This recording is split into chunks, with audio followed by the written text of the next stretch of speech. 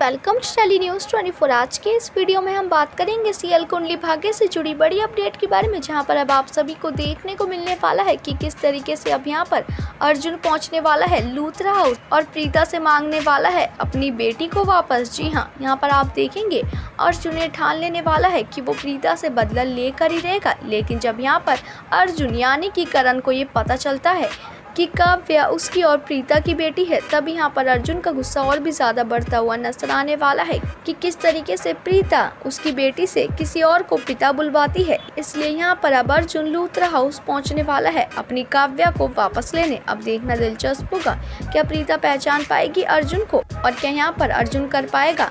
प्रीता और काव्या का दूर देखना इंटरेस्टिंग होगा। सीएल कुंडली भाग्य से जुड़े ऐसे लेटेस्ट अपडेट पाने के लिए चैनल को सब्सक्राइब करें।